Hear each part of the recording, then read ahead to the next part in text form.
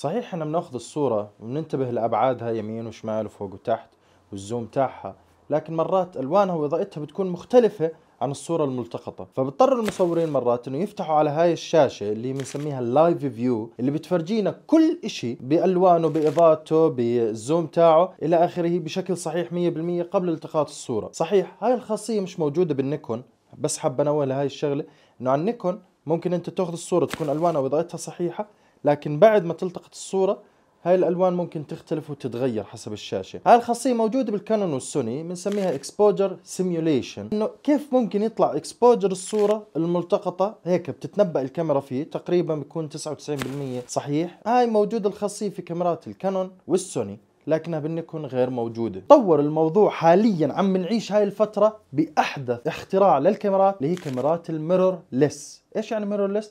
يعني من غير مراي. طب يا ليو إحنا كيف بنشوف الصورة إذا المراي مش موجودة؟ بكل بساطة حبيبي كاميرات ال mirrorless شالوا فيها المراي فصارت الكاميرا أصغر وأنحف. الصورة بتدخل على ال sensor مباشرة. إذا أنت بدك تشوفها بعينك على ال view finder في سلك موصل على الشاشة فوق فصار اسمه electronic view finder EVF هذا ال electronic view finder هو عبارة عن شاشة صغيرة بتخليك تشوف الصورة بإضاءة وألوان نفس الصورة لما تلتقطها. فهاي هي فكرة ال mirrorless بتريحك شوي بالشغل.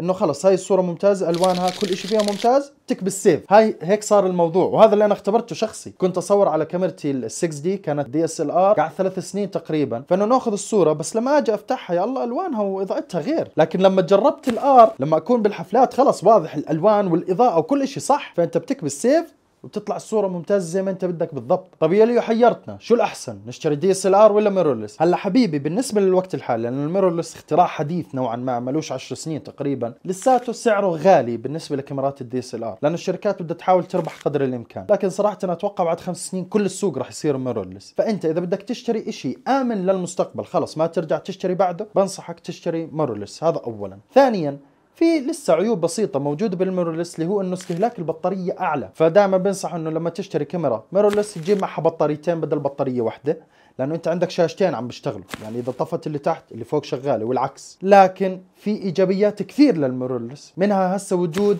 ال focus على العين بدل الوجه. هاي كمان كثير بتفرق معانا مش موجودة بكاميرات ال DSLR وهي على كاميرتي الحالية. هلا عم بصور الفيديو ال focus عم بلحق عيني مش وجهي. فخلينا نتفق حاليا إنه الإشي الأفضل إنك تشتري ال mirrorless إذا صح لك لكن زي ما حكينا بدها ميزانية. يا ليو طيب ما معيش ميزانية كبيرة عادي جدا حبيبي تبلش بكاميرا DSLR سعرها خفيف وطري بعدين تحط في بالك تطور. لكن بدك تنتبه إنه كمان مش بس الكاميرا DSLR و mirrorless وكمان بدك تنتبه إنه العدسات حتى في شيء بيركب بس لل DSLR وفي شيء بيركب بس لل mirrorless وفي شيء adapter بزبط بينهم الاثنين. فهذا كمان بدك تحطه بعين الاعتبار.